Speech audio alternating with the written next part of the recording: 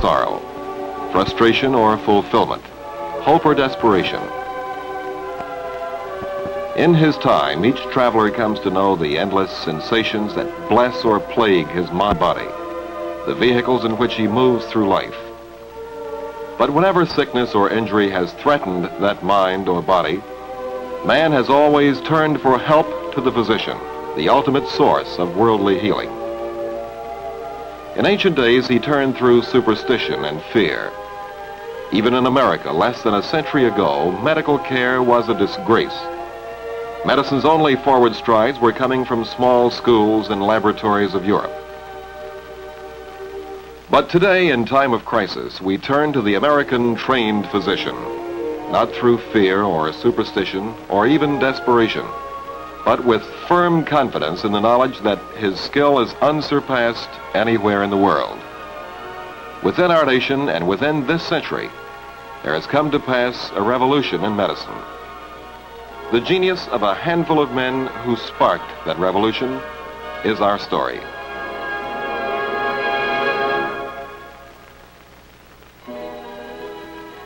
Less than a hundred years ago, medical doctors in America were not required to have a college education.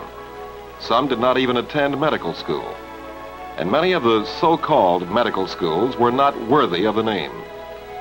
Today, this young resident doctor is about to complete his formal medical training and begin his practice. Since graduating from college, his intensive medical education has taken nine long and arduous years. His challenge will be to help meet an appalling and ever increasing need for medical care. But for that job, he is the best equipped, best informed, and most highly skilled doctor that the world of medicine has ever produced.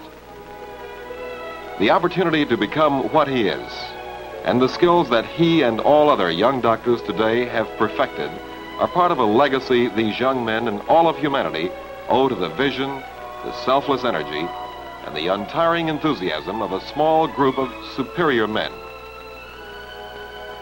But how did this American heritage of excellence begin? It began because there was a passionate need for it to begin, and because a wealthy bachelor with rare insight recognized that need.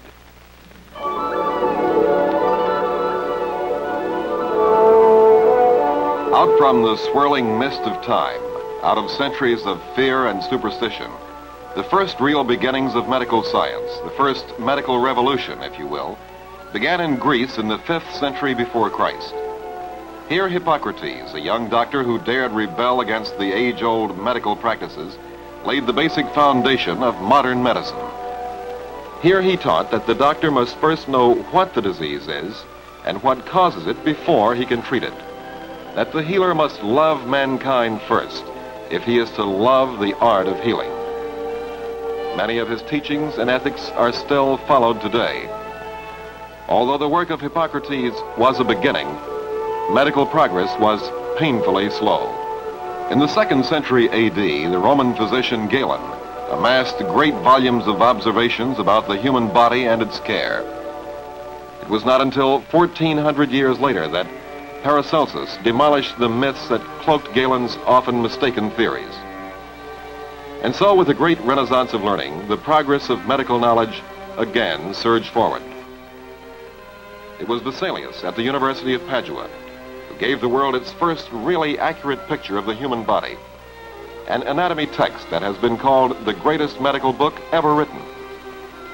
Discovery of the microscope made possible Harvey's study of the circulation of the blood and Leeuwenhoek's discovery of body cells and bacteria in the 17th and 18th centuries. Once the cell theory was established in 1835, the pace of medical and scientific research began to speed up in Europe, especially in Germany. It was late in the 1800s that Louis Pasteur developed the germ theory of disease. By Pasteur's time, European medicine was heralded as the finest in the world the need for research, and the practical uses of scientific discovery were important factors for the growth of an industrial society. With industry had come wealth, a wealth that could support higher education. And so the continental schools flourished. In America, however, the contrast was shocking. Those who knew the condition called American medical education disgraceful.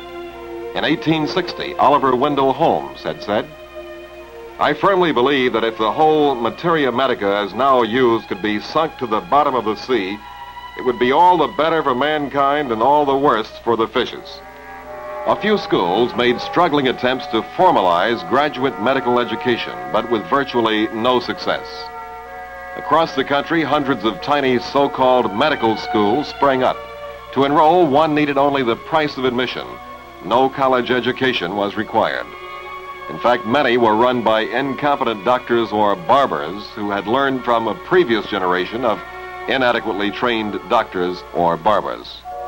The sole purpose of many schools was to make money for the men who ran them. Anyone who bought enough tickets to the lectures could earn his degree. Many of these doctors graduated without ever having seen a living patient in all their training. Almost without exception, the only really good doctors at that time had taken at least part of their training abroad. The time was ripe for dramatic changes. Changes that would lift American medicine to a preeminent position in the world, the position it occupies today. In Baltimore, in the later decades of the 1800s, a fortunate combination of money and talent were to bring about those changes. Had these two factors never come together, America undoubtedly would have suffered through many years of agonizing medical evolution that might never have achieved the same amazing and far-reaching results. Instead, there occurred a sweeping and sudden revolution, which had an instantaneous and profound effect on the world. A revolution that was made possible by the actions of one man named Johns Hopkins. Hopkins, the son of Quaker tobacco growers, went to Baltimore at the age of 17 to work in the grocery business. He later moved into banking and railroading and by his death had amassed the monumental sum of $7 million. He is quoted as having said that two things are sure to last. A university, for there will always be youth. A hospital, for there will always be suffering. Half his fortune he willed to build a new university. The other half to build a new hospital.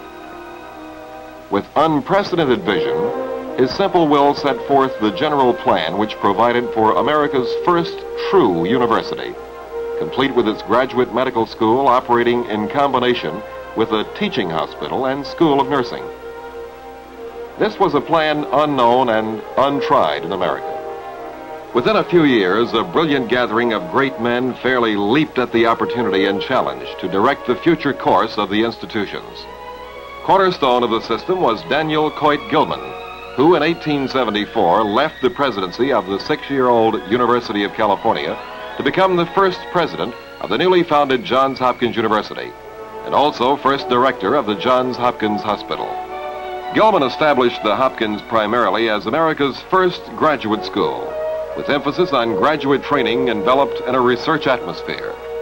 And the Hopkins University Medical School would usher in a new era when it was joined with a great teaching hospital the pattern which today is the standard of medical education throughout the world.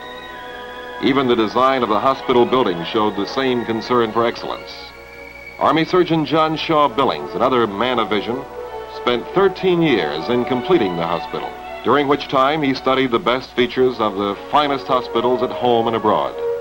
The line of exceptional men didn't stop with Gilman and Billings, for the spark that made the promise of medical revolution a reality, was the succession of remarkable doctors who soon were drawn to the Hopkins.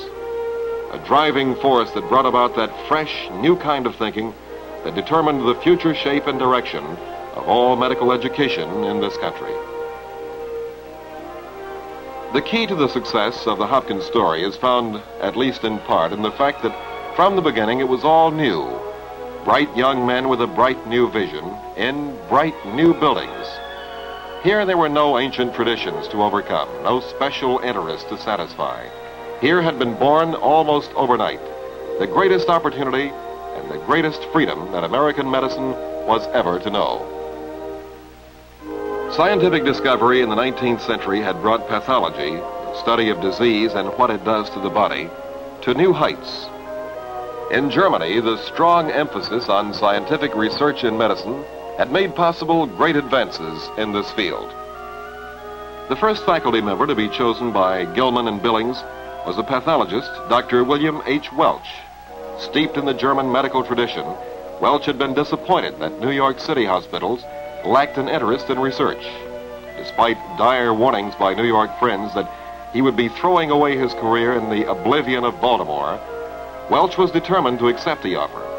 He wrote to a friend, No place in America offers the real opportunity for scientific work which this does. It seems to me that it is an opportunity for giving a start and impetus to the spirit of real scientific work, which is thus far so sadly lacking on this side of the Atlantic, which can come to a man only once in a lifetime. There was opportunity, and Welch would make the most of it. In his own time, he was to become a living legend, known throughout the world as the Dean of American Medicine, and to his devoted colleagues as Popsy Welch. Dr. Welch's pathology laboratory was the nucleus from which the institutions were to grow, and his spirit of research soon became the high spirit of the hospital. Welch attracted many brilliant men to Hopkins, but none more important than the second faculty member, Professor William Osler, physician-in-chief of the University of Pennsylvania. Dr. Osler, a Canadian, was as richly steeped in the traditions and theory of British medicine as Welch was in the German. Probably nothing did more to fashion the new style of American medical education than the joining of the German and English systems through the most fortunate association of Welch and Osler. This pattern of scientific research combined with careful patient observation and bedside teaching became the foundation for the study program of nearly every American medical school. Osler was renowned for many important new ideas, but he always said that he most wanted to be remembered as the man who opened the hospital wards to the students. From Osler's inspiration came the present-day practice of small groups taught at the bedside and emphasis on the sensitive handling of patients. Among the other great figures Welch attracted to Johns Hopkins was Dr. William S. Halsted, Halsted literally founded a new school of surgery that produced many of the world's most highly skilled surgeons and established principles and practices that even now remain a major influence on every surgeon who enters an operating room. The electricity of what was happening in Baltimore spread, and the name Johns Hopkins was famous the world around long before the hospital finally opened its doors in 1889. Another Philadelphian, Dr. Howard A. Kelly soon was invited to become gynecologist in chief and obstetrician to the hospital.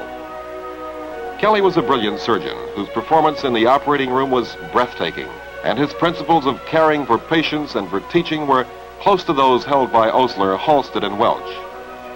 The excitement that the sparkling association of these four men brought to academic medicine was made even greater by still other outstanding men who found themselves drawn to Hopkins and by a long and illustrious list of exceptional students, many of whom joined their teachers to form a veritable who's who of medicine.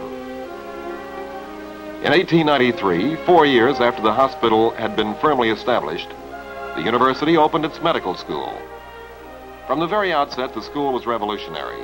Medical schools traditionally had picked their faculties from among local physicians, so there was great controversy in the Baltimore Medical Society when Johns Hopkins began to choose the rest of its faculty from the outside, just as it had with Welch, Osler, Halsted, and Kelly. But with money no problem, the best men were brought from wherever they could be found. To work beside the medical doctors in the school were key men from the university campus, professors of the basic sciences, non-medical scholars who were to help develop medicine as a science. And so began one of the most exciting periods in the history of medical education, research, and scientific advancement for the relief of human suffering.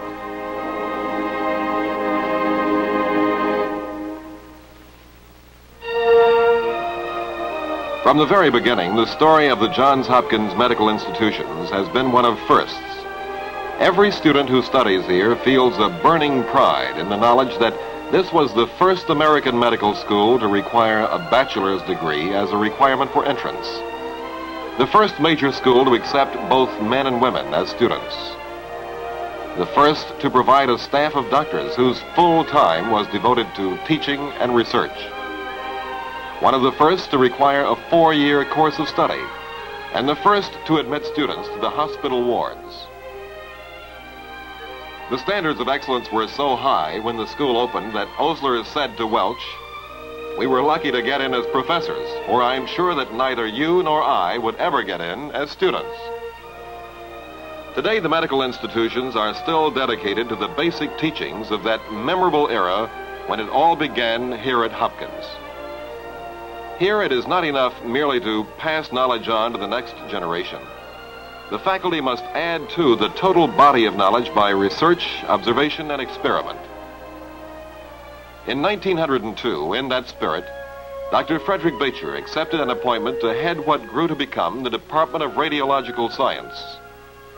For more than 30 years, he labored. As Dr. Alan Chesney, his colleague and former dean of the medical school, was to write, Baetjer was one of that band of pioneers in the field who paid dearly for the knowledge which they gained. That he had the misfortune to lose an eye and was obliged to undergo many palliative operations more than a hundred it is said, as a result of his exposure to x-rays before their danger was understood, never seemed to alter in any way his jovial disposition, and certainly did not affect his devotion to his special field. Dr. Baetjer died, but his department continued to grow, and new talented men carried forward the work. In 1951, Dr. Russell A. Morgan, attempting to reduce the amount of radiation the patient must receive, developed a television system that could brighten the fluoroscope screen 50,000 times. This in turn enabled development of the first practical method of making motion pictures using X-ray. Today, the study of motion pictures of the heart in action has become an important tool in cardiac research.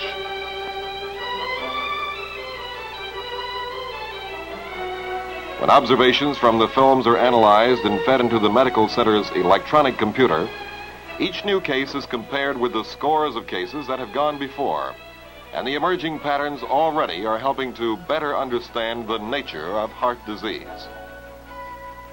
This same kind of chain reaction made possible many similar important discoveries in all other departments of the Hopkins. Each research project benefiting from the hundreds of others going on throughout the hospital and school.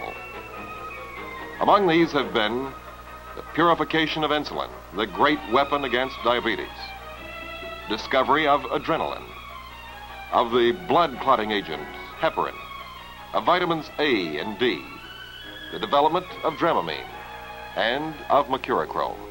Discovery of the cause and cure of rickets. The invention of closed chest heart massage. Development of the famous Blue Baby operation, which opened up the whole field of heart surgery. verification of the three strains of poliovirus, which made possible the development of the Salk vaccine, and countless others, all indebted to the scientific spirit which has blessed the Hopkins since the days of Popsy Welch and his associates. Probably nothing at Hopkins has kept this great spirit of research alive as has the full-time system for the faculty. The system which originated here provides that the doctors who are chiefs of hospital services and also professors in the medical school all work full-time on a university salary. They have no private patients of their own, and the fees that are collected when they serve as consultants are returned to the university. But these men who teach have their own laboratories and the time to use them. This was a major step in integrating the University School of Medicine with the hospital and the plan has been adopted to some degree by most other schools as having incalculable benefits for both clinical research and teaching. From the beginning, Hopkins graduates have been an important force in spreading the spirit of the medical institutions to other schools and to other countries. In many foreign countries, the name Baltimore has come to mean Johns Hopkins. And more often than not, the Johns Hopkins School of Hygiene and Public Health which along with the medical school and hospital comprises the Johns Hopkins Medical Institutions. The pioneer in graduate medical education, Hopkins has become one of the world's greatest centers for postgraduate work. Here, nearly twice as many doctors continue to study after having received their degrees as those still working for their MDs. Today, with the exploding world population, the shortage of trained doctors is an international problem, and nearly a third of the postdoctoral staff at Hopkins have come from other countries.